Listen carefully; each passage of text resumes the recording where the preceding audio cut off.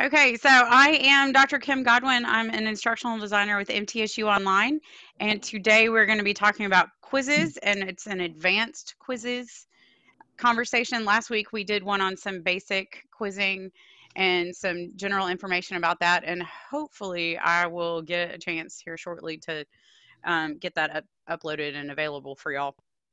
Um, and then I wanted to go ahead and tell you that we had initially planned to talk about submission views and uh, feedback and hints and things like that. Uh, we learned last week that this takes a little bit longer than we thought it would, and this one will probably take even longer. So, in two weeks, we are actually going to do um, one on the 30th, specifically on submission views and um, the feedback options within questions and things like that. So, um, if you have a lot of questions about that, if you want to send them to us ahead of time, that'd be awesome. And we will make sure to touch on those when we get to that one in two weeks. But we have lots to talk about today, and we might touch on some of that a little bit, but we wanted to let you know ahead of time. Um, so, with me today, um, as always, as our best ever chat monitor is Tara Perrin. She's the other instructional designer for MTSU Online. Uh, so if you have questions throughout, uh, please feel free to stick those in the chat. She is amazing at monitoring the chat and making sure that I get in there and answer those questions uh, if there are things that we need to touch on. So um, before we go into the main part about quizzes, I want to um, go ahead and talk about some of the other events that are coming up through the LT and ITC. As I mentioned, we have one in uh, two weeks that Tara Tara is leading, and I'm going to be doing the chat, so that's kind of exciting. Um, and it's on submission views and feedback. Uh, and then next week there is one uh, from the library um, that they are doing on scholarly identification tools. Uh, and then there's one next Friday on um, digital projects uh, through the humanities learning center i think learning community i think or learning circle. Um, and then there's another one coming up next week on um, creating accessible content. So make sure that you are checking out the mtsu.edu stay on course faculty calendar for upcoming events um, and trainings that are available. So um, without too much further ado, I'm going to go ahead and share my screen with y'all so that you can see what we're going to talk about today. Uh, so this is my one of my development shells. It is one that I get to play around in and mess around in. So we are going to use that today. And part of what I'm going to do today is walk you through uh, some of the more in-depth concepts with quizzes. Um, Last week, we talked a little bit about how to do the basics of setting one up. This week, we're going to actually talk about the question library and using question pools and some other intricate things like that, as well as the arithmetic questions. Um, and then we're going to talk a little bit about um, a couple of additional security restrictions, which, as it turns out, is very timely.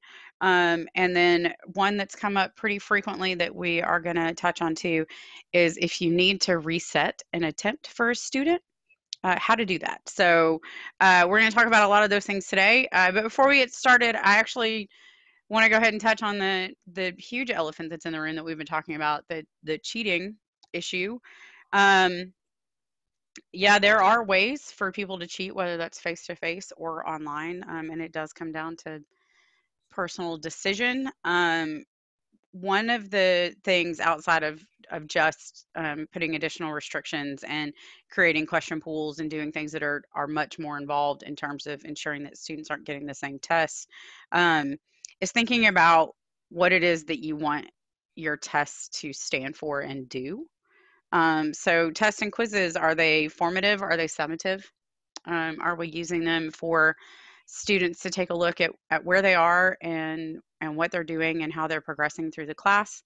Um, using that as an area for our own development as a faculty member to help get our students to the next level of engagement and help to get our students to a new level of uh, knowledge, understanding, and application.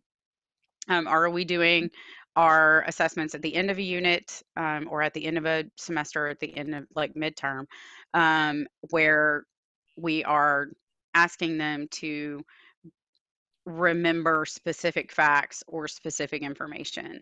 Um, thinking about our purpose, it's uh, it's one of the things that I like to think about with it is in in the real world um, outside of college um, or K-12 for that matter, um, we typically do not live in a vacuum that we are not able to use uh, resources, either uh, books, resources, uh, the internet, uh, people that we know, each other, faculty, uh, any of those things uh, to help us um, if we get stuck on something. If we are asked a question and we're not sure of the exact answer, if we know where to go look it up, then we're expected to do that um, in the real world in our jobs. Um, so, one of the things to think about with that is um, when we're thinking about creating assessments and we're thinking about creating our tests, are we creating our tests so that our students know how to find the information and apply the information, or are students taking the test in order to give us specific facts that later in life they may go look up? Um, so thinking about how we're structuring our tests and the purpose of our tests also kind of hits on that a little bit. Um, if we are okay at the beginning and how our test is structured um, with them using it as open note, open book, um, then uh, we don't tend to run into as many issues with that anyway. Um, and along that same path, you still know whether or not students are prepared for the test, um, even if it's open note, note or open book or any of those things um, because you put time limits on it and if a student has never watched any of your lectures, um, has never read any of the books, has never reviewed any of the resources, they're not going to finish their test in the time allowed. Um, it's going to be pretty obvious. They're going to be able to answer a few, but they're going to run out of time because you just cannot look everything up in that amount of time that is available. Um, so, really thinking about how we're assigning time to things, thinking about what the purpose of those uh, assessments are. What is it that we're actually trying to measure with our assessments? And when we're thinking about measuring with our assessments, that takes us back to um, our alignment of our student learning outcomes and our course objectives. Is the type of assessment that we're doing actually measuring what it is that we say that, that we want them to be learning in that module or in this course or in that semester. Um, so those are just kind of some some broader things to think about in terms of creating quizzes and and thinking about things like that is what is our purpose of this quiz? What are we hoping to obtain from this quiz? Uh, and what do we want our students to be able to show as a result of our quiz um, or exam or, or test? Um, so those are just a, a, few concepts on that that I just kind of want y'all to to think about in the back of your mind uh, as you are processing and, and making decisions about mm-hmm. your assessments. So, um, so we'll go ahead and get started. Um, I would be more than happy for y'all to minimize me if you um, don't want Zoom as the primary thing on your screen and go ahead and open up a D2L course that you have. Um, and we will actually get in there and I am going to walk you through the process of creating a uh, question library area and how that leads to setting up question pools um, and arithmetic question. So um, here I am. I am in my development shell. I'm sorry. Uh, are yes. you sharing screen? Because I don't see a screen share. Can Can y'all not see my screen? I see it. I can see it fine. Okay. All right. Sorry. Don't have a clue as to why I'm not. Thank it's you. Okay. okay. Um, it can if you. I'm not really sure. That's strange. Um, Check what view you're in. Maybe it's blocking it. Yeah, I'm not sure. Um, I'm not sure. Sorry. um, so the way that we get to the question library is you go to assessments and then you go to quizzes. Did you just say for us to do to pull? Yeah. Feel free to come along with me. Do it. You can do it with me so that you are practicing at the same time that I'm showing you how to do it. So that if you run into questions or something doesn't make sense, you can ask us about it in real time while we're here. Are we going into your D2L development shell or You're going into one of your own classes? Okay. Kim, I, I do apologize. What helped to my students if they cannot see the shared screen, if you stop sharing and then restart sharing again. That usually helps to those who cannot see my shared screen with my students. Okay, I can do that. Share again. Did that fix it? I'm sorry, it did not. So this is going to be meaningless to me. Bye bye, folks. Okay, bye. Sorry. Okay. Um, so in your own class, um, you've gone to assessment, you've gone to quiz, um, and you are now looking at this page. Yours is going to look a little bit different than mine. Um, but up here at the top, you should have manage quiz and then question library and then statistics. Question library is where we're going today. So if you want to click on the question library, um, I have a little bit in my question library, not a whole lot, um, because I this is a development shell, so I don't have much in it. Um, but uh, this is where you will build your question libraries for exams. So um, the first thing that you're going to want to do in your question library is create a new section. So in higher education section has a very specific meaning. In D2L, the only thing that's called a section is in this. Um, it's a folder. It's not a new section. It's not a new class. It's not creating something crazy. It's just a folder. Um, it's the one thing in D2L that they're like, let's change the name just for fun. Um, so you're going to want to create a section and then you're going to want to label it whatever you want to label it as. So I would suggest labeling, labeling it as um, the class name or uh, exam one or something like that. That's a, a pretty big overarching term. Um, so we're going to call ours exam one. Um, and then one of the things that I like to do uh, within these is that I like to start my shuffling at the very beginning. Um, so as I put questions in, when things come out, they will shuffle as they come out. It's just one more step of shuffling. Um, it doesn't make a huge difference at this level if we're going to be using question pools, but it never hurts to have as many shuffles turned on as possible because it just adds more opportunities for everyone to get a different version of the test. And then I'm going to save. And I am so sorry that my dog is barking. I hope that it's not bothering y'all. Uh, so now we have exam one. We have a question, uh, a folder for exam one.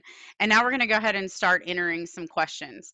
So one thing to note at this point, um, and I'm I'm not going to do this, but if somebody if we need this down the road, uh, we can probably talk about it, but it's probably more specific to an individual case.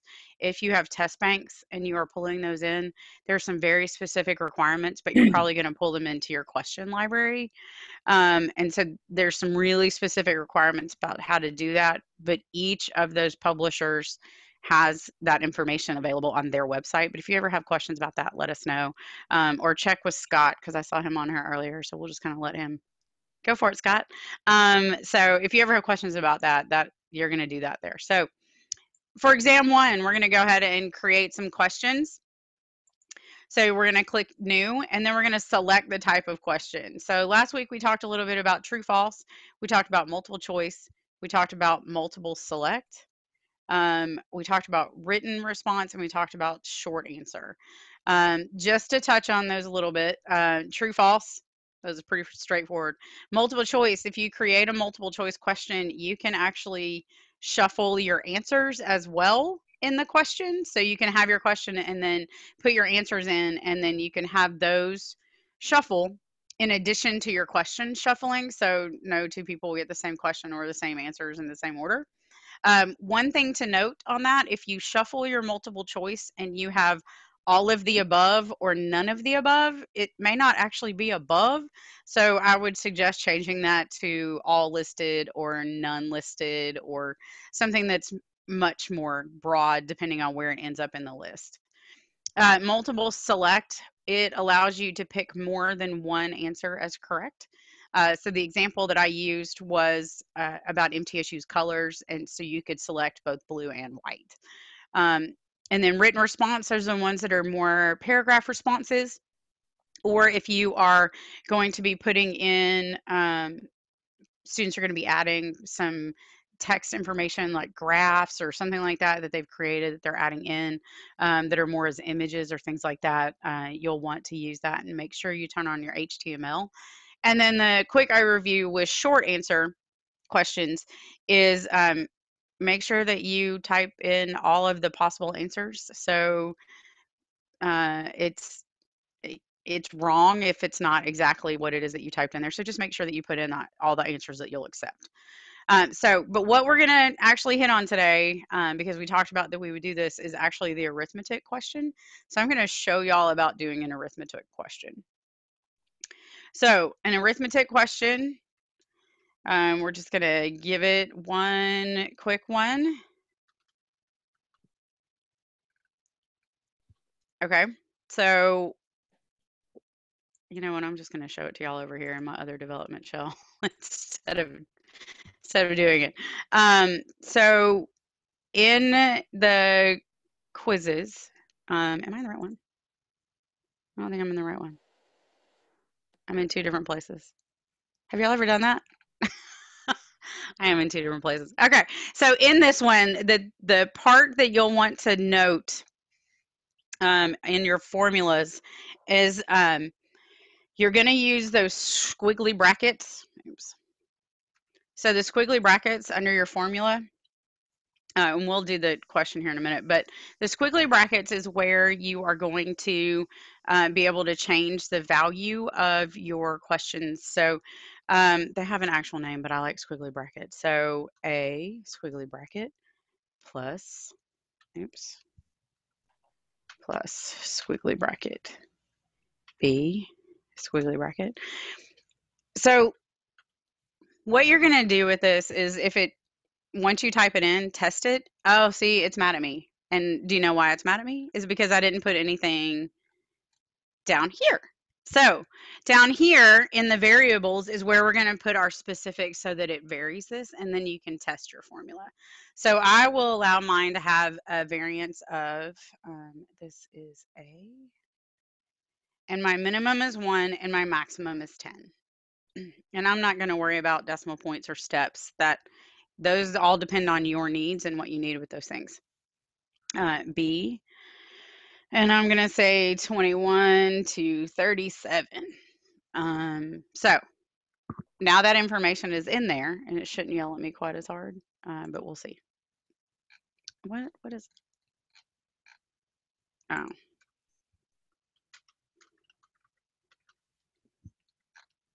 Okay. So there you go. That is how you know that your formula works. Um, so it's it's okay. It's because I didn't put all the extra steps in there. Um, but that is how you know that your formula works is when you run the formula. The most important part of that of the arithmetic question is thinking about your values. Now, one thing to note in here is that this, because it's a math one, it's arithmetic, that you would change your values based on math. You can actually use those squigglies to change other things. Uh, you can, um, in some of the other questions, anywhere there's a variable, you can use that squiggly and change it.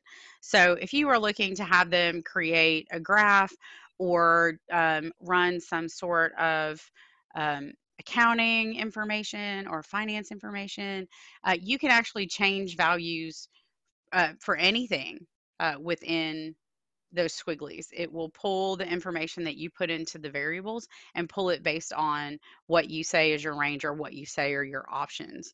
Um, so the reason that we wanted to show you that in the slightly more advanced one was because if you are asking the same mathematical questions for every single person, it does actually open the door for more options for people to be helping each other. Uh, but if you put ranges in like this one that you have different variables, then it creates a different variable for every student.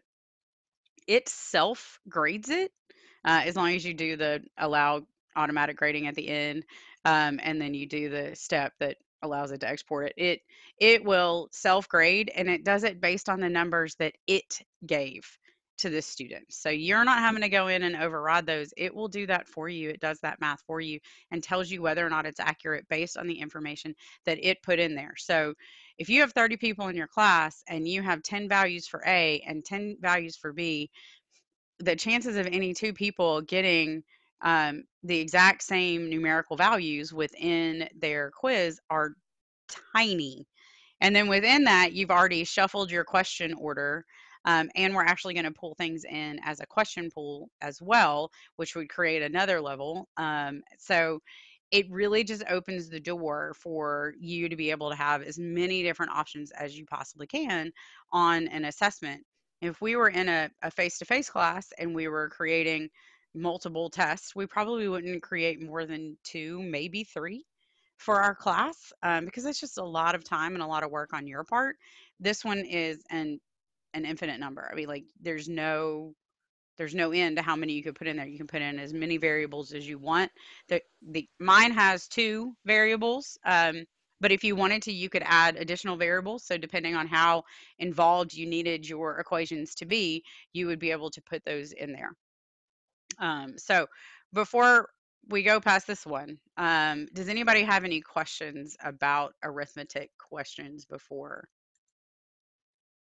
before we do it? before we move on. I can see the chat popping around, so I just want to make sure if anybody has any questions about arithmetic. Okay. Okay.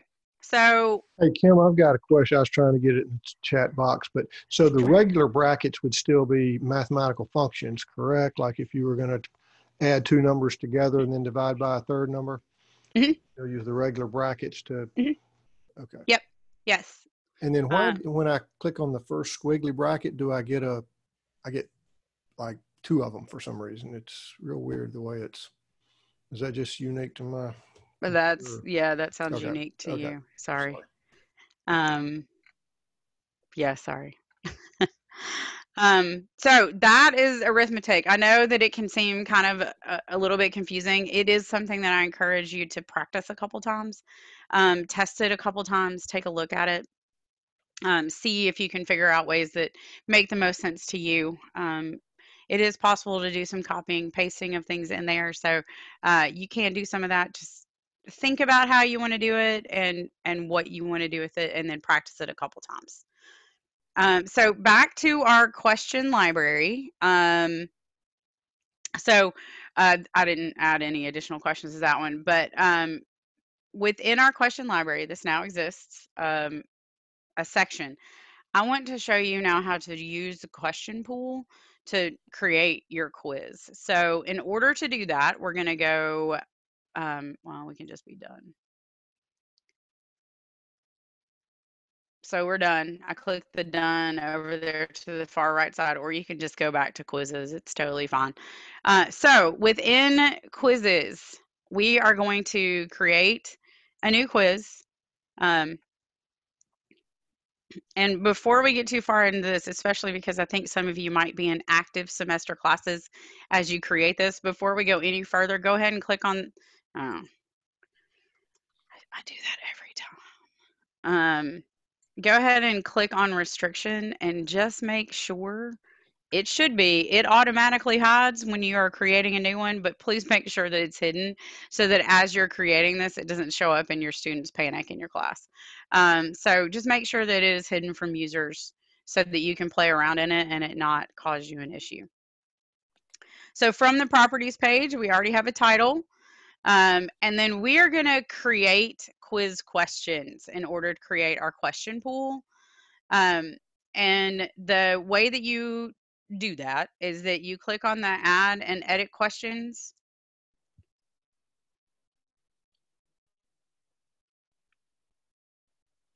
And then when you come to this page, and it's only blank like this if you don't have any questions, but when you come to this page, you're going to go to add and probably in the past, you've created either a section within your test or you've created a new question that you've just clicked on this and picked the option that you wanted. We're going to play with question pool. So go ahead and click on question pool. And then we're going to name it, and it's just going to be section one. And we are going to choose however many questions out of our section that we want to have. So say that we have 50 questions from chapter one that are available in our question library, um, then we would choose, um, let's say we want 10. So we want 10 and we want each one of them to be worth two points. So on this, an important note, little side note for you. If when you're creating your question library, you assign everything as a value of one, um, then when you pull them into your question pools, you can change the values if you need to based on whatever's going on with your test or how many questions. You can change the values. Um, and that will allow you, if, if you change the values in your question library, it's harder to do this. And then you have to manually go in and change it. If everything in your question library is set as one, you can pull everything in and change your value and then change it in your quiz instead of your question library. So we're going to pull 10. Um, I don't know that I actually have a question library section that has 10 in it, but we're going to pull 10 from our question library. So when your question library comes up, uh, it will look similar to this. Our source is our question library. Um, it's over here in the top right hand side. You can click and see what some of your options are and break it down specifically um, as to what it is that that you want to pull from. So I have a whole lot in here as it turns out. Um, see, we can pull from anything within our question library. So to give you a pretty good example, I'm going to pull from this one. And there are 52 questions. I'm going to pull from all 52. So I'm going to select. And I now will pick 10 from 52. So what you saw happen there, um, if you are able to see my screen, what you saw happen there was that all of those questions showed up. There are actually 52 right here.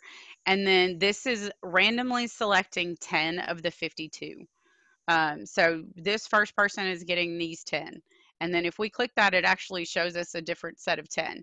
So if we have a question pool set up, it will actually allow us to have multiple opportunities for students to different questions.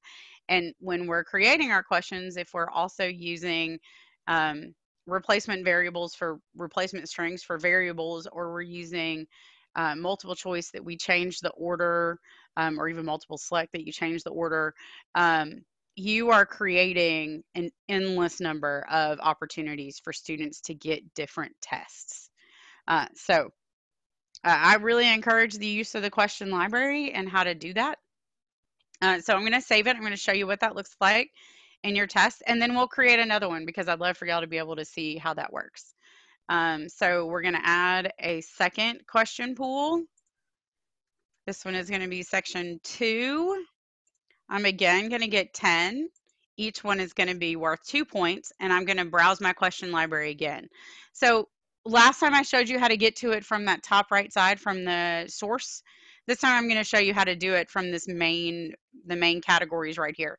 So you can expand the sections that you've already created within your question library and then select the one that you're interested in adding. So I would like to, within this one, add chapter 12's questions into my question pool for this one.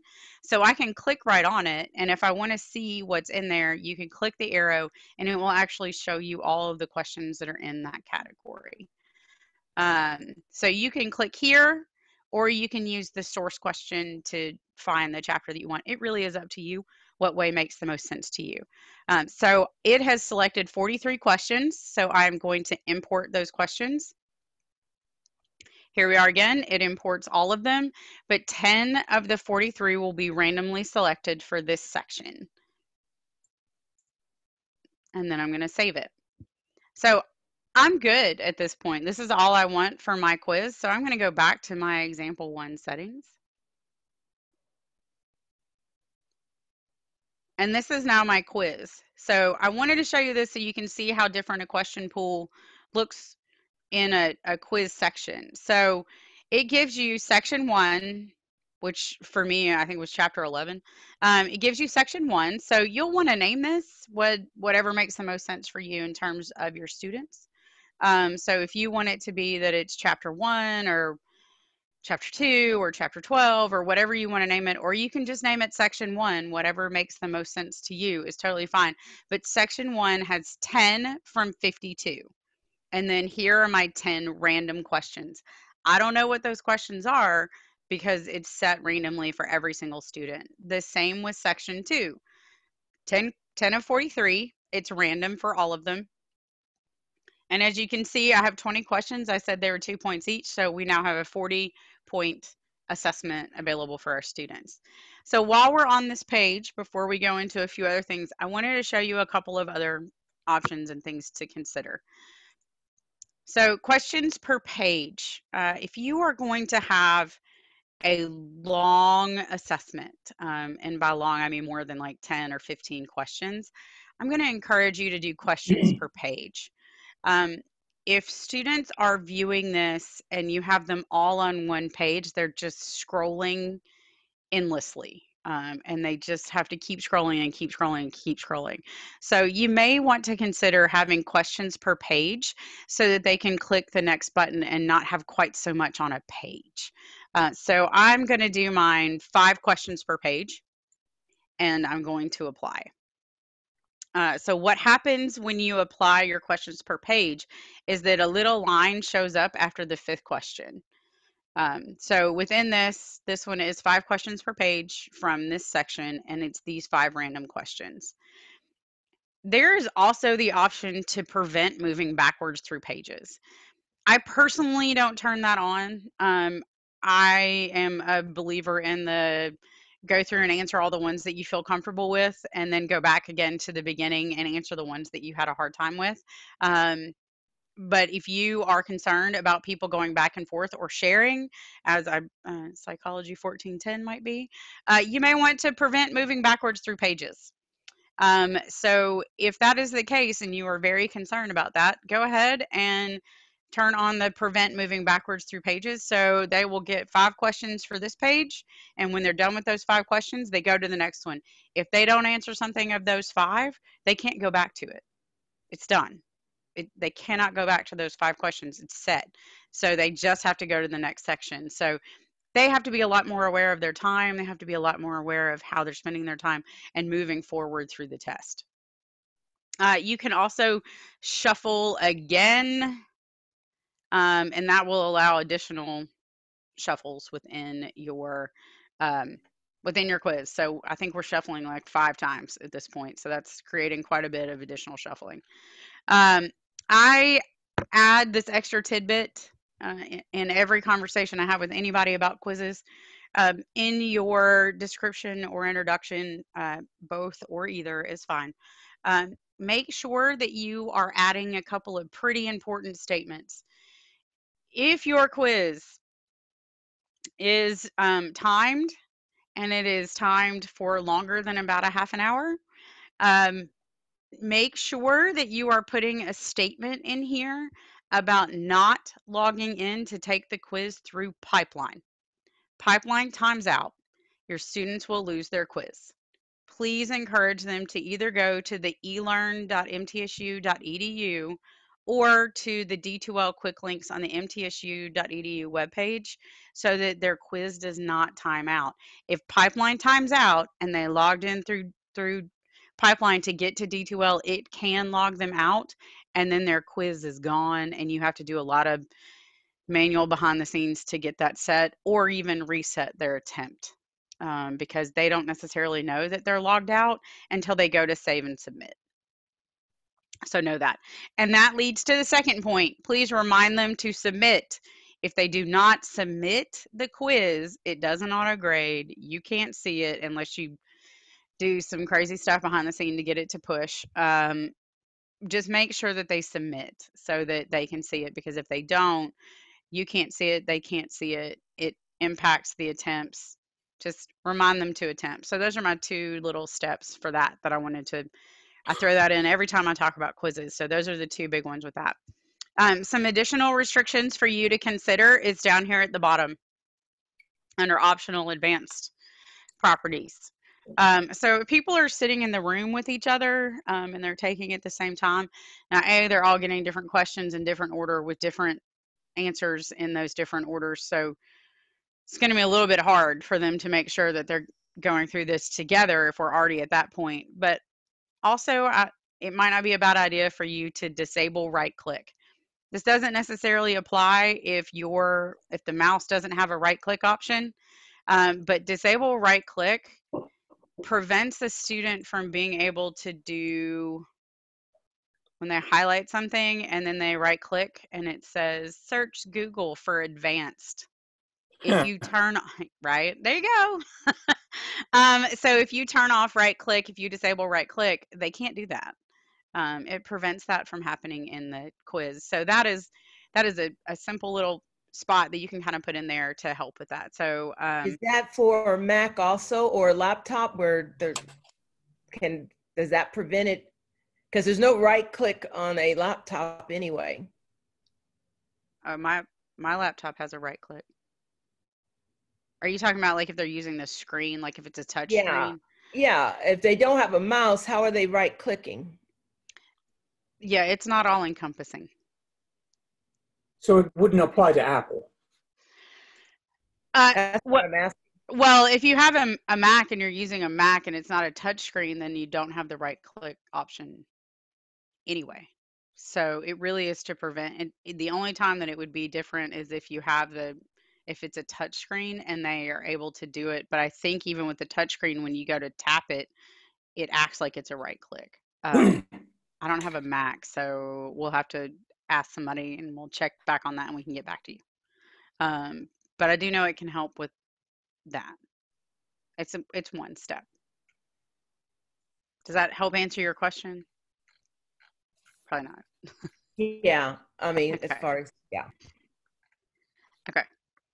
Um, so the next level of um restrictions that we're going to talk about um, is a little bit about time. I hope that y'all already know about time and setting times. Um, so due dates, availability, and end dates. Just note that with end date, it's closed. With due date, it's when it's due. Um, so just that's the that's the big difference with that.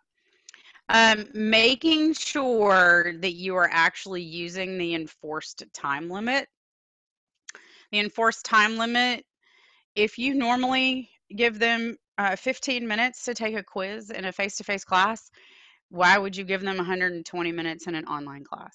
Um, so give them the same 15 minutes and give them a one minute grace period.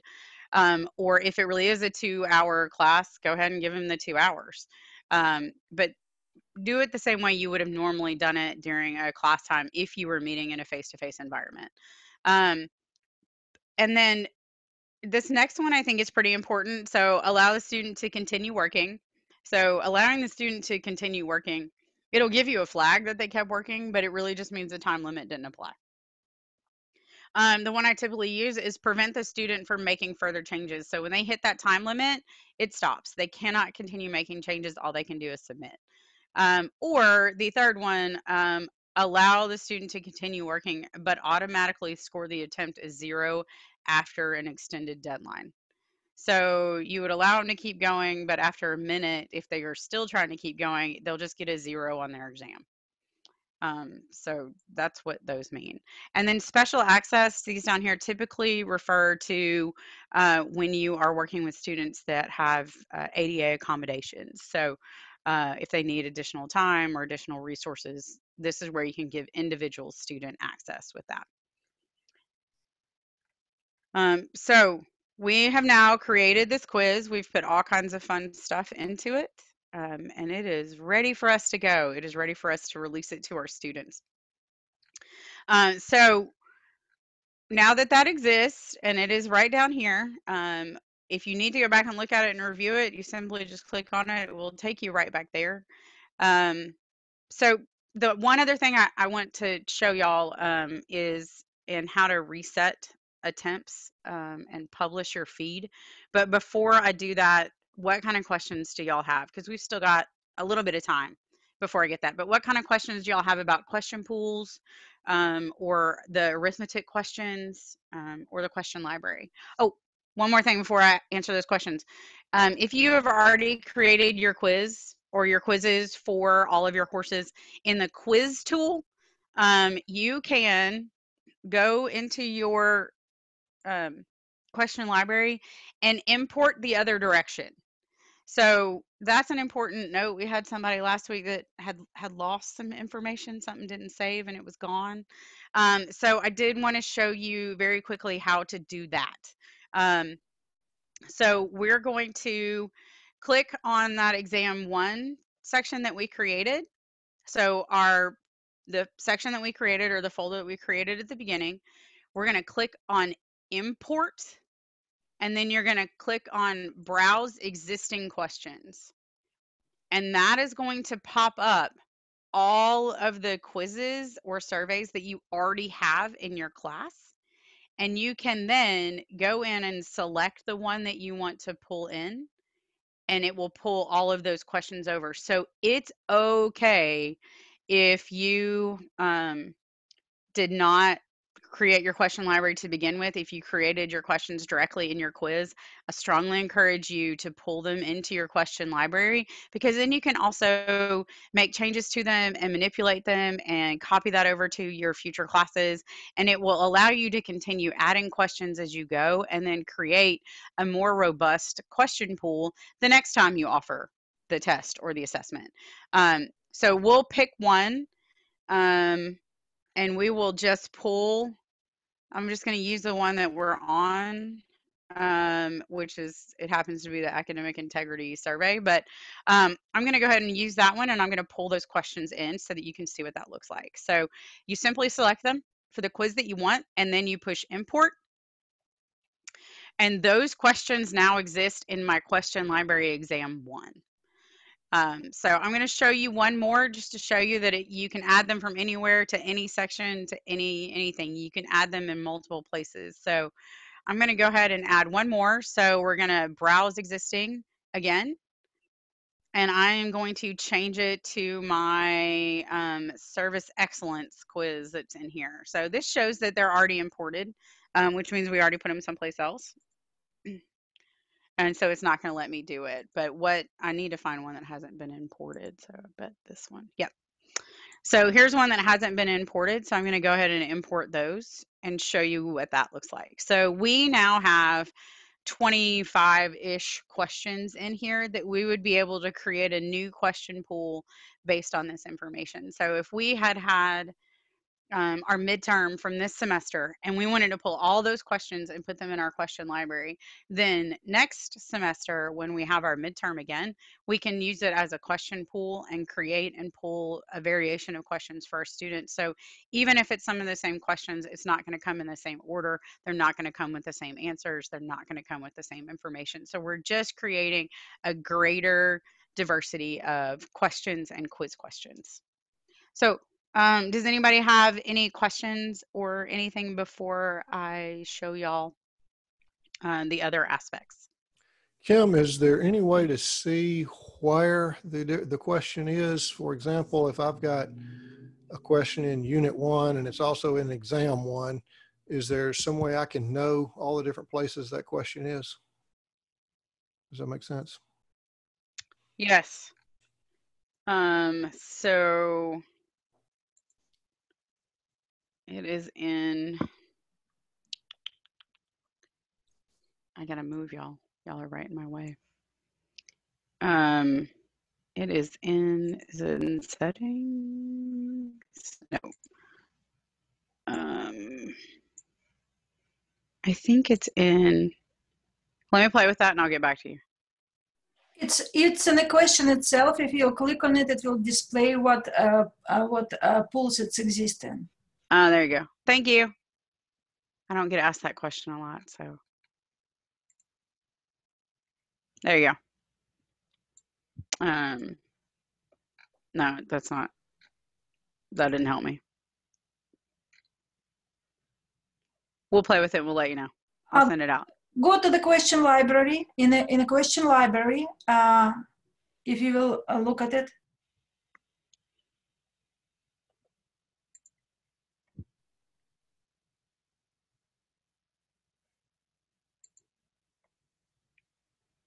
Oh, yes, in here. That's where it does it. yes, it's in here. so yeah, um, it will tell you where all it's located in the question library. So, um, but there's your question. Um, and then it will tell you in the, when you pull up the information, it'll show you. Does that help? Okay, now where is it? I see edit. Oh, sorry. Preview yeah. attempts. Yeah. And where was it? Where did you click on after that?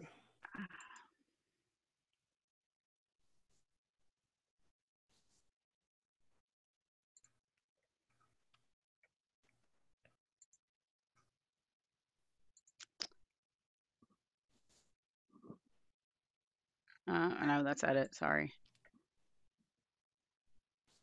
Um, it is in attempts? No.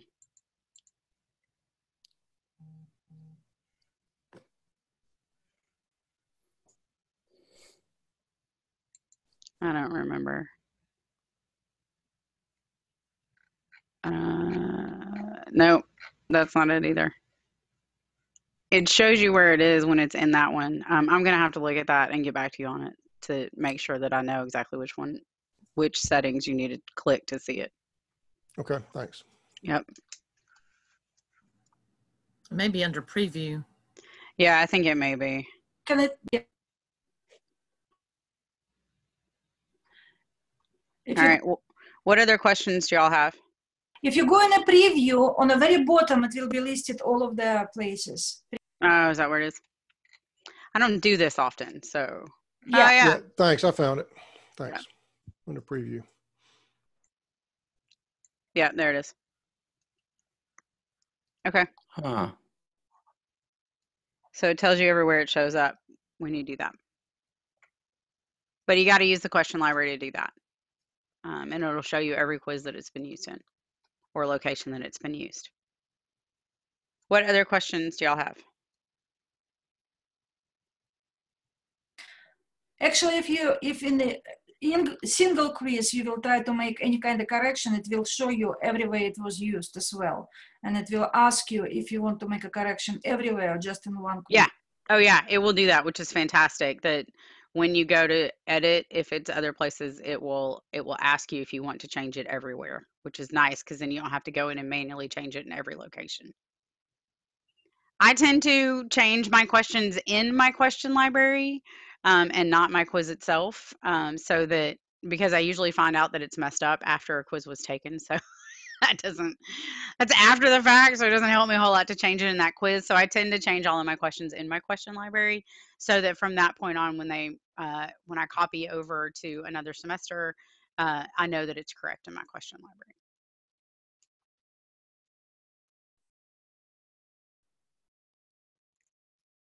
What other questions y'all have before I show y'all a little bit about how to reset an attempt um, and to push feedback? Anybody have any questions about either of those? Anything? Okay. Okay. So this is where we're going to find out if I have. Oh, look, somebody took this one. Um, so to uh, look at the pushing feedback and um, attempts reset from your quizzes, you will click on the arrow to the right of the name of the quiz and then click on grade. Grade. Uh-huh. Um, and so this is what shows up when you click on grade from the arrow next to the quiz. Um, successfully in August, I apparently got 100% on the syllabus quiz that I made up and took. Um, so this is where, uh, this is what this information will look like. This is where you can export information about attempts, which is kind of nice um, if you have questions. You can export the detailed information if you need that as either a CSV or an Excel. So if you are trying to look at some um, statistics on how students did on certain types of questions, if you're trying to determine if there is a, a certain area of questions or information that students are struggling with more than others, uh, something like that might be able to help you because you could really review some of that. Um, so this is where it is based on users. Um, and if you'll notice, um, I, I don't even know how often any of you have ever even been to this page, um, but what you have right down here are a reset, a publish feedback, and retract feedback. Um, so I'm going to show you how to publish feedback, um, which if you have a quiz that you have uh, or an exam or test that you've gone in and you've done all the feedback and you've saved it on everybody's and you come and look and it doesn't look like it's happening um, if you come in here and you click this button in the upper left hand corner it if there were lots of students in my class it would highlight every single student uh, when you click this little button it highlights every single student that has completed that. And then you publish feedback It tells you that we'll receive feedback on publishing. Do I want to continue? Yes. And that is when it sends the information and lets them know that they have um, gotten feedback on the exam. Um, so it, I was gonna say it should probably, but I'm not. It, does weird things when you're. I have multiple personalities, so sometimes it doesn't push to the right person. Um, so that is how you publish feedback. At that point, if I came in and I looked at my feedback, it would show that I had received it, um, that I read it. So um, So does that mean when we're saving, um, when we're giving feedback per question in the quizzes, all this time, when we save at the end, does that mean it's not going to the students? Um, part of that depends on what your settings are in your quiz setting. So you may, it, it should, but if you have students saying, I don't see my feedback, I'm not getting my feedback from this quiz, the easiest way to fix that, because it may just be that there's a setting somewhere in your quiz that isn't turned on for automatic, uh, the automatic export. Um, so if you are getting feedback from your students or you're seeing that none of them have gone in and looked at their feedback, go ahead and come in and click this button and push the publish feedback and it will shoot it out to them again um, and let them know that they got it. Kim, what will that feedback consist of? Um, the information that you put in. So it's just the part that you put in as the feedback um, and then their grade. Um, it's not the submission view, which we'll talk about briefly if we get a chance here in a second, but that's what we're going to talk about in two weeks is that submission view and specific feedback.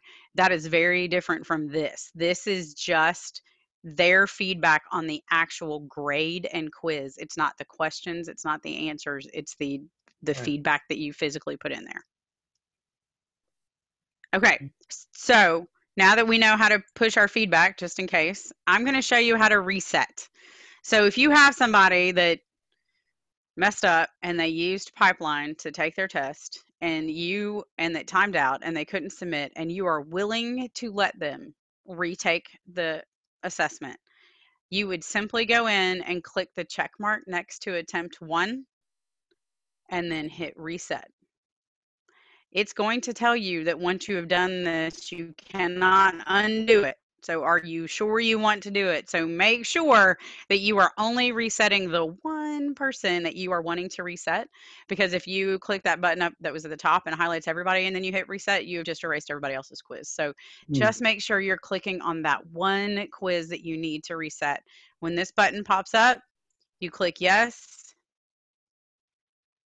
i now no longer have an attempt in this class because I was the only one that had had, had attempted anything. I there's no longer an attempt um, because I have retracted it, which means if I only had one attempt to take the test, I can now go back and retake it because I have my attempt has been reset. Uh, so I wanted to show you that because that's actually um, those two, the published feedback and the reset, are the things that we've actually gotten a lot of questions about in the last couple weeks. And my guess is that's because of midterms um, but that people are running into some situations with that. So uh, wanted to make sure to show y'all how to do that. Hey, Kim, could you go over that one more time? Sure. So from manage quizzes, um, we are going to, uh, I don't think I have a quiz that anybody's taken. Um, so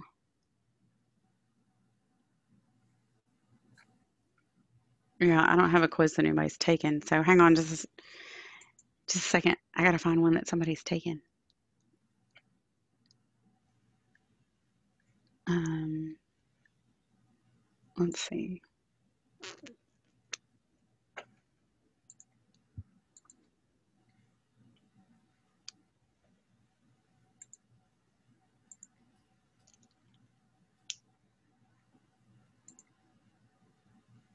Taking my quiz real quick.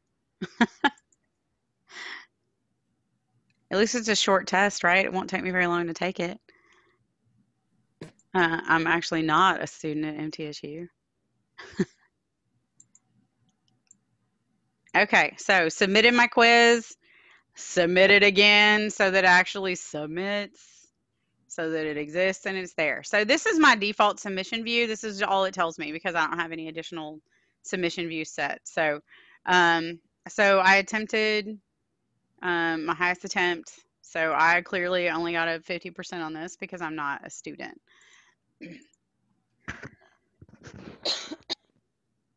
Sorry about that. Okay, so for a quiz, we are going to go back to that. We're going to click grade, click that arrow next to the one that's been taken, click grade. And it takes us right back to this page. Um, so I did really badly on this test, that whole I'm not a student at MTSU. Um, so if I want to reset this test and allow a student to take it over again, you click this button next to attempt one and then click the little trash can that says reset. It pops up a reminder to make sure you really want to do it because it's permanent, it's gone forever. And then you click yes, and the attempt is gone like it never existed. Um, so that is how you reset an attempt in case you ever have that. Sometimes um, I've had to reset them before when someone has started a quiz um, and then realize they really didn't have time to take it. And you get in there and you see that they didn't, they started it and four seconds later they logged out. Um, and I've allowed them to go back in and retake it. Um, but it, it's up to you when you're going to need to use that. But if you ever need to use it, that's where to find it. And that's how to reset a quiz. Uh, Kim, actually, you can restore what you deleted with reset it. Uh, I, I did it. I, I accidentally removed, uh, you know, reset Yeah, students. there there are some ways to do it, but it's way better to tell yourself you can't and don't do it than it is to try to go in and restore something that you deleted. It takes a lot. You got to go in behind the scenes to restore things. Um, so just try try real hard when you reset something that you make sure you're resetting the right one because it it's pretty scary in that moment of you trying to figure out how to refind it. But you can. It's just not. It's not easy. Um, uh, the other way I did it uh, was going back into the restrictions and, you know, where you can add, like you were saying, the ADA compliance, because I wanted it to keep the one attempt, but Yeah. I allowed a student to have another attempt because they said they'd had a issue with their internet. And Yep. so I wanted it to be, so I just went in and gave them, and it also because I had restrictions of like what time frame they had to take it and it had passed that time frame. Yep. So I allowed a second attempt and also gave them a, the, the, a new time frame. Yes, you can absolutely do that. Um, that is one of the the other options with that. I mean, in the restrictions under the special access. Um, I know I mentioned that it was mostly for ADA, but it also is for that. If you have something happen that you want to allow somebody to come in and add an extra time, you can add uh, users to special access. And then you can change their due date, you can change the end date, you can change the amount of time, and you can add an extra attempt um, if you would like to. Um, so this would allow them to have an additional attempt. Um, and it does ask if you want some advanced with that. Like in order to get a second attempt, you had to have a minimum of this many points or a maximum of this many points on on attempt one. It's up to you if you want to be able to to do that. Um, I, I leave it blank. I'm just allowing them to retake it. But if you have something that says you will allow a student to retake a test if they got a 50 or a 60 or um, or if you're using um, that they can take it as many times as they want until they get 100 if you're using it for formative purposes then you could set it so that they can continue having attempts until they reach 100% um, so that those are definitely ways that you can add and give additional options When I set up my uh, quizzes, I set them up for automatic export to grades. Mhm. Um, but my students are telling me that they're not able to see their quiz grades in the grade book. Uh, I can see them, but they cannot. I feel like there's something somewhere that I didn't click, uh, but I've used this previous semesters and not had that issue. So I'm not quite sure what I'm doing. I, I expect it's simple, but but I messed it up somewhere. um, and it's it's in the um, they they can't see it but it has it it's set to automatic export Your eyeballs are probably still closed. I know that sounds weird, but that's how you can tell the difference. in the Um, grade. hmm So it's possible in your grade book that your grade is hidden. Mm-hmm. If the if, if if the eyes are shut, then they can't see it. You can. Okay, so how do I how do I fix that? I know what So, you're talking about in your- eyeballs.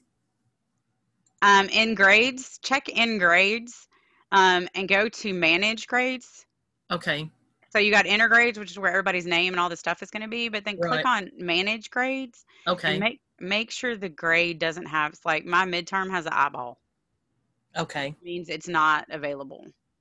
okay. Um, this was our showing people how to create midterm exams. I mean, midterm calculated, so you didn't have to do the math yourself. So Okay, so then I would just click on it. that eyeball and open it, and that would Uh, you have to do. Uh, you have to click on the arrow make visible to user. and make visible to user. Huh. Okay, I bet that's it. Oh boy, thank you. That that might be what it is. Um, if not, go in and just publish the feedback um, on that publish feedback page that that I showed y'all, Okay, um, and that should push it to them. Okay, Um, it if it's the eyeball, that's probably what the issue is. But it never hurts to publish feedback again to make sure it gets there. okay. Thank you. You're welcome. Related, It's 12:35, so um, we are we're here to stay and answer questions. I just wanted to let people know in case anybody needed anything. So, um, and I I'm probably going to go ahead and stop the recording okay. Um, and stop my screen share and stop recording. So, um, but we can keep answering questions as long as you all would like. Related question.